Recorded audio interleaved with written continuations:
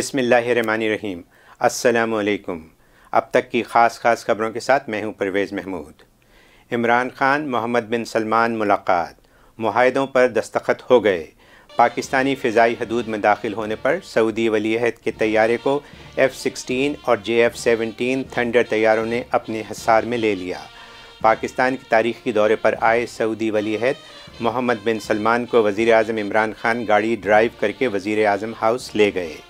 سعودی ولی عہد محمد بن سلمان اور وزیر اعظم عمران خان کے درمیان ون آن ون ملاقات کے بعد معاہدوں پر دستخط ہو گئے۔ دونوں ممالک کے درمیان آٹھ معاہدے اور ایم او یوز پر دستخط ہوئے، جن میں توانائی، معدنی ذخائر، پیٹروکیمیکل، پاک سعودی ریفائنری، ترقیاتی منصوبوں، نوجوانوں کے امور سمیت ترقیاتی شعبہ جات کے بارے میں معاہدے ہوئے ہیں۔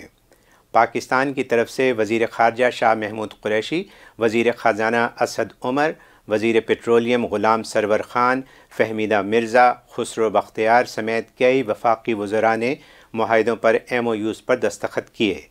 وزیر خارجہ شاہ محمود قریشی نے کہا کہ پاک سعودی تعلقات نے نئی نوعیت اختیار کی ہے۔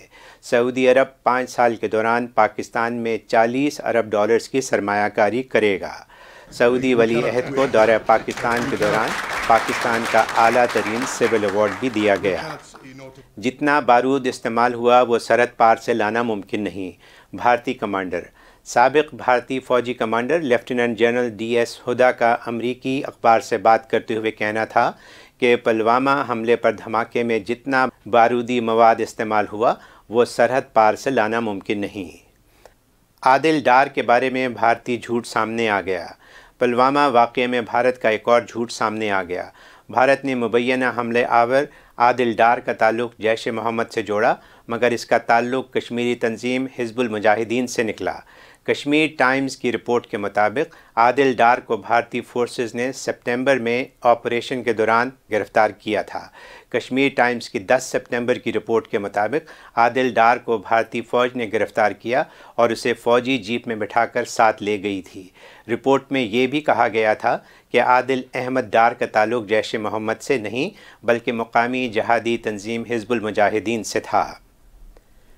بھارتی جاسوس کلبھوشن جادیو کیس کی سماعت۔ پاکستان میں دہشت گردی کے منصوبہ ساز بھارتی جاسوس کلبھوشن جادیو کے کیس کی سماعت عالمی عدالت انصاف میں دوبارہ شروع ہوگی، جو چار دن جاری رہے گی۔ پاکستان کا موقف ہے کہ ویانا کنونشن کے تحت جنگی قیدی کے حقوق کلبھوشن جادیو کو حاصل نہیں۔ کیس کا فیصلہ گرمیوں کی چھٹیوں سے پہلے آنے کا امکان ہے۔ بھارتی نیوی کے حاضر سروس کمانڈر اور را کے ایجنٹ کلبھوشن جادیو نے پاکستان میں ہونے والی دہشت گردی کے کئی منصوبے بنائے، جس پر کلبھوشن جادیو کو باقاعدہ کیس چلا کر فوجی عدالت سے سزائے موت کی سزا سنائی جا چکی ہے۔ کلبھوشن جادیو کی سزائے موت کو بھارت نے عالمی عدالت انصاف میں چیلنج کیا ہوا ہے۔ بھارت نے کلبھوشن جادیو کو ویانا کنونشن کے آرٹیکل چھتیس کے تحت جنگی قیدی کے حقوق دینے کا مطالبہ کیا ہے۔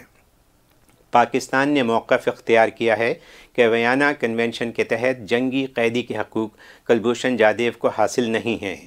کیونکہ دو ہزار آٹھ میں قیدیوں کے تبادلے پر ہونے والے پاکستان اور بھارت کے درمیان معاہدے میں یہ بات شامل تھی کہ سیکیورٹی خدشات کے معاملے پر کیس ٹو کیس میرٹ پر فیصلہ کیا جائے گا کن لوگوں کو ویانا کنونشن کے تحت حقوق دیے جا سکتے ہیں۔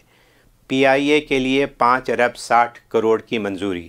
وزیر خزانہ اسد عمر کی زیر صدارت اقتصادی رابطہ کمیٹی کا اجلاس ہوا۔ اجلاس میں پی آئی اے کے لیے پانچ ارب ساٹھ کروڑ روپے جاری کرنے کی منظوری دے دی گئی۔ منظور کردہ رقم سے پی آئی اے کے تیاروں کو قابل استعمال بنانے کے لیے پرزے خریدے جائیں گے۔ اجلاس میں مزید کپاس کی پیداوار بڑھانے کے لیے چین کے تعاون سے منصوبہ شروع کرنے کا فیصلہ بھی کیا گیا ہے۔ ایف اے ٹی ایف کا اجلاس پیرس میں ہوگا۔ فائنینشیل ایکشن ٹاسک فورس کے انٹرنیشنل کوآپریشن ریویو گروپ کا اجلاس پیرس میں ہوگا، جو کہ پانچ روز تک جاری رہے گا۔ پاکستان پر امید ہے کہ F A T F Pakistan کا نام گرے لسٹ سے نکال دے گا۔ گرے لسٹ میں سے پاکستان کا نام نکالنے کا حتمی فیصلہ اکتوبر میں ایف اے ٹی ایف کے اجلاس میں ہوگا۔ ڈیموکریٹس کا ایمرجنسی کو عدالت میں چیلنج کرنے کا اعلان۔ امریکہ کی ریاستوں کیلیفورنیا اور نیو یارک کی ڈیموکریٹ حکومتوں نے صدر ٹرمپ کی جانب سے ملک میں ہنگامی حالت کے نفاذ کے خلاف عدالتوں سے رجوع کرنے کا اعلان کیا ہے۔ صدر ٹرمپ نے جمعہ کو وائٹ ہاؤس میں ایک پریس کانفرنس سے خطاب کرتے ہوئے ملک میں ہنگامی حالت کے نفاذ کا اعلان کیا تھا۔ صدر نے کہا تھا کہ وہ یہ اقدام امریکہ کی جنوبی سرحد پر موجود خطرات اور مشکل صورتحال کے پیش نظر اٹھا رہے ہیں۔ جن سے نبٹنے کے لیے ان کے بقول سرحد پر دیوار کی تعمیر ضروری ہے۔ ہنگامی حالت کے نفاذ سے صدر کو کانگریس کی منظوری کے بغیر بجٹ میں مختلف مداد میں رکھے گئے فنڈز کو دیوار کی تعمیر کے لیے استعمال کرنے کا اختیار حاصل ہوگا۔ امریکہ میں نوکری سے برطرف کیے گئے ملازم کی فائرنگ سے چھ افراد ہلاک۔ امریکی ریاست ایلونوائے کے شہر شکاگو کی ایک نجی فیکٹری نے ایک ملازم کو نوکری سے برطرفی کا نوٹس دے دیا، جس پر دل برداشتہ ہو کر اس نے اپنے ساتھی ملازمین پر فائرنگ کر دی، جس کی زد میں آ کر چھ افراد ہلاک ہو گئے۔ پولیس حکام کے مطابق واقعہ کی اطلاع ملتے ہی پولیس جائے وقوع پر پہنچ گئی۔ تاہم، جب ملزم کو گرفتار کرنے کی کوشش کی گئی تو اس نے پولیس اہلکاروں پر بھی فائرنگ کر دی، جس کے نتیجے میں پانچ پولیس اہلکار زخمی ہو گئے، جبکہ پولیس کی جوابی فائرنگ سے حملہ آور مارا گیا۔ زخمی پولیس اہلکاروں کو قریبی اسپتال میں منتقل کر دیا گیا ہے۔ شام پر سی فریقی اجلاس میں روس ترکی کے ایک دوسرے پہ الزامات۔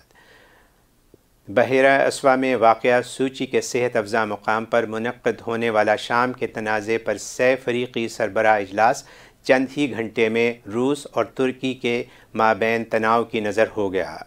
کریملن کی خاتون ترجمان ماریاس خارواوا کے مطابق روس نے ترکی کو بتا دیا کہ شام کے اندر محفوظ علاقے کے قیام کے معاملے کا اسے اختیار حاصل نہیں ہے، جب تک کہ اس میں شام کے صدر بشار الاساد کی باضابطہ توثیق شامل نہ ہو۔ اور اب ملاحظہ ہوں کھیلوں کی خبریں۔ بھارت میں پی ایس ایل میچز دکھانے پر پابندی عائد۔ بھارتی حکومت نے ملک میں پی ایس ایل میچز دکھانے پر پابندی لگا دی۔ پلوامہ واقعے کے بعد پی ایس ایل میچوں پر بھی بھارتی بوکلاہٹ طاری ہو گئی۔ بھارت نے اپنے عوام سے کھیلوں سے لطف اندوز ہونے کا حق بھی چھین لیا۔ بھارتی میڈیا کے مطابق، بھارتی حکومتی دباؤ پر براڈ کاسٹر کو پی ایس ایل کا بلیک آؤٹ کرنا پڑا۔ کرکٹ کلب آف انڈیا نے بھی دباؤ میں بطور کرکٹر وزیر اعظم عمران خان کی تصویر ہٹا دی۔ کوئٹہ گلیڈیٹرز نے اسلام آباد یونائٹڈ کو چاروں خانے چت کر دیا۔ کوئٹہ گلیڈیٹرز نے اسلام آباد یونائٹڈ کو سات وکٹوں سے شکست دے کر پوائنٹس ٹیبل میں ٹاپ پوزیشن حاصل کر لی۔ کوئٹہ کے شین واٹسن نے اکیاسی رنز کی ناقابل شکست اننگز کھیلی۔